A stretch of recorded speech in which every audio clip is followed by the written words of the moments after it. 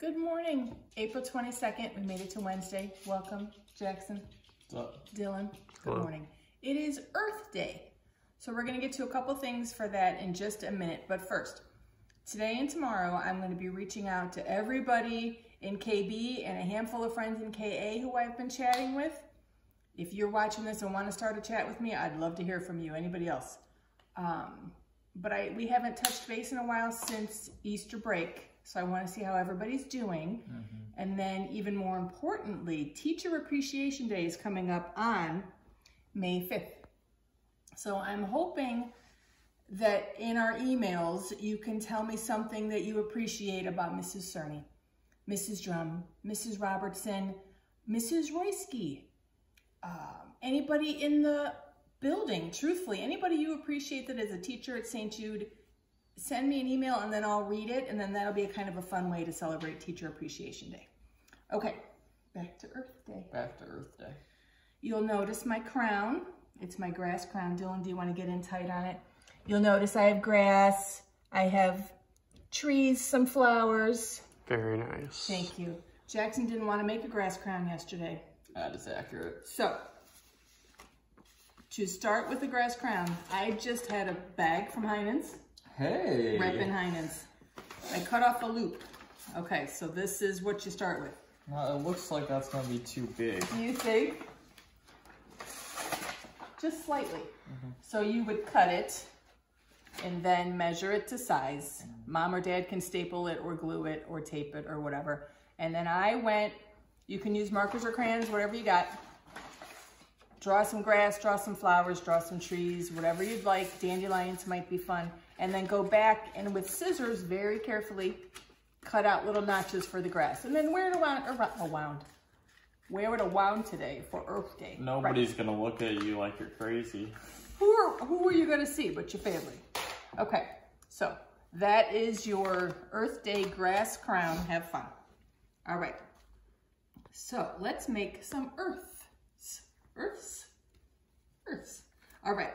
I made these yesterday. These are coffee filters that you color with markers. And then I punched a hole in them because I thought they'd be fun to hang. So if you make a lot of these today, if you really like these, you could maybe hang them in your bedroom and it might be fun. Hang them in the kitchen if mom or dad or grandma allows it. Okay, so let's make one of these. Jackson, it is Earth Day, Uh-huh.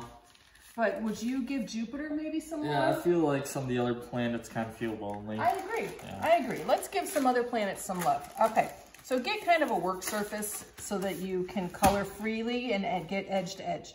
I'm going to work on Earth. Earth is mostly water. Some areas are deeper than others, so I'm Uh, going to how much do, of how much of Earth is water? oh, 80%? No. What, what is it, 78%? It's Because like that's it's my 70 life. something. I say 80% and the kids go, it's actually 79.9%, Mom. Why are these markers so hard to Because get you're off? weak. Okay, so you don't have to do your most beautiful coloring. So I'm gonna do some deep water here. How is the deep water different from light water? Deep water's darker. Why the heck won't this come off? I don't know, but you're weak. That's not Okay, bad. that is the same color as my other one. Let's try a different one.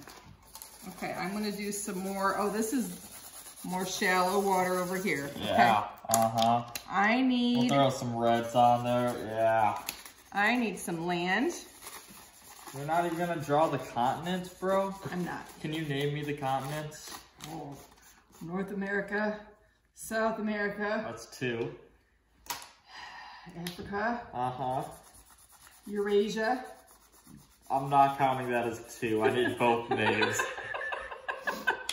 Uh, Antarctica. Uh-huh. There's, uh, I don't know. I'm Where, where do the kangaroos live, man? Australia. There you go. Thank you. I didn't know there'd be a quiz. I would have prepped. Okay, and then I need some I'm not done yet, man. grass. Make sure to put aside a lot of time. This is very time consuming. It's it is being rushed because we're rushing it. How can you see grass from at, at the same place you see just blobs of land? You're not gonna see grass.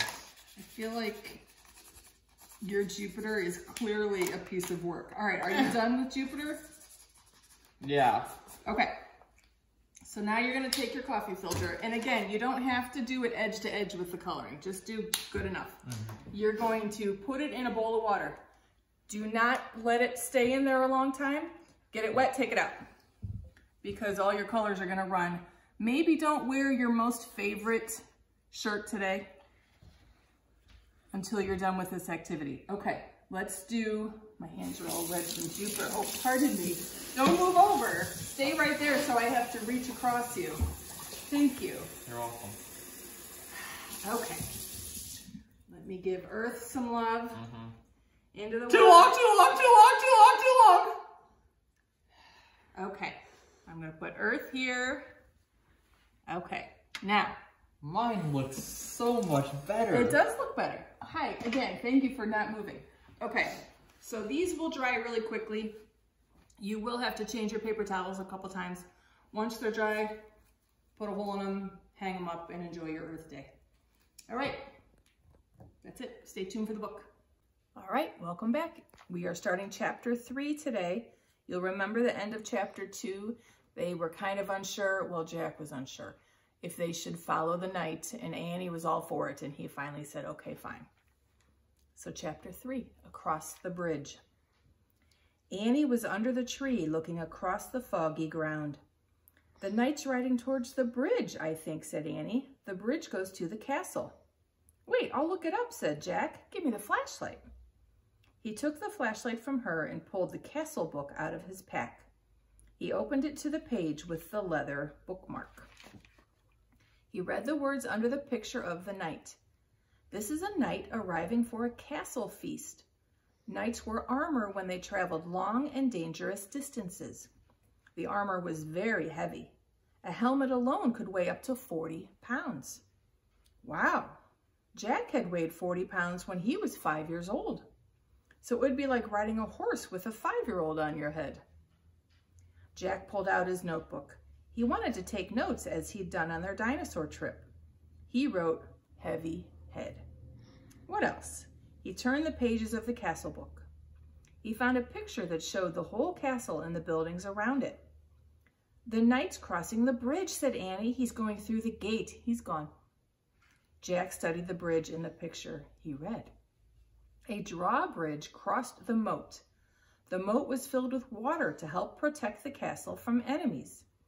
Some people believe crocodiles were kept in the moat. Jack wrote in his notebook, crocodiles in moat? Look, said Annie, peering through the mist, a windmill right over there. Oh, all right, here's a picture and then I'll read it. You can see them checking it out. Yeah, there's a windmill in here too, said Jack, pointing at the picture. Look at the real one, Jack, said Annie, not the one in the book. A piercing shriek split the air. Yikes, said Annie. It sounded like it came from that little house over there. She pointed through the fog. There's a little house here, said Jack, studying the picture. He turned the page and read. The hawk house was in the inward, inner ward of the castle. Hawks were trained to hunt other birds and small animals. Jack wrote in his notebook, Hawks in Hawk House. We must be in the inner ward, said Jack. Listen, whispered Annie. You hear that? Drums, horns. They're coming from the castle. Let's go see. Wait, said Jack. He turned more pages of the book. I want to see what's really going on, Jack, not what's in the book, said Annie. But look at this, said Jack. He pointed to a picture of a big party. Men were standing by the door, playing drums and horns. He read, Fanfares were played to announce different dishes in a feast. Feasts were held in the great hall. You can look at the book. I'm going to the real feast, said Annie.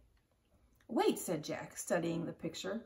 It showed boys his age carrying trays of food, whole pigs, pies, peacocks with all their feathers. Peacocks, Jack wrote. They eat peacocks? He held up the book to show Annie. Look, I think they eat where was she gone again? Jack looked through the fog.